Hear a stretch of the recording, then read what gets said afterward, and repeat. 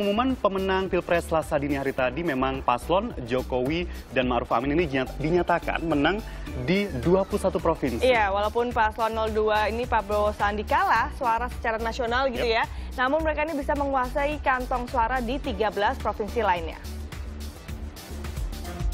Dari jumlah suara sah nasional 154.257.601, Komisi Pemilihan Umum telah mengumumkan pemenang pemilihan presiden Selasa dini hari tadi.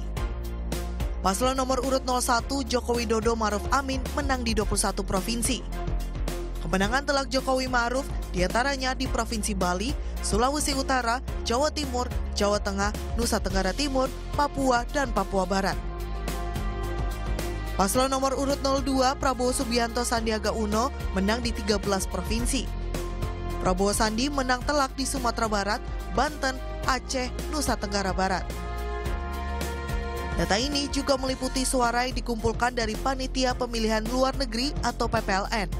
Dari total 130 PPLN, Joko Widodo Maruf Amin menang di 114 PPLN. Prabowo Subianto Sandiaga Uno menang di 15 PPLN. Sedangkan satu PPLN di Tunisia, kedua pasangan imbang.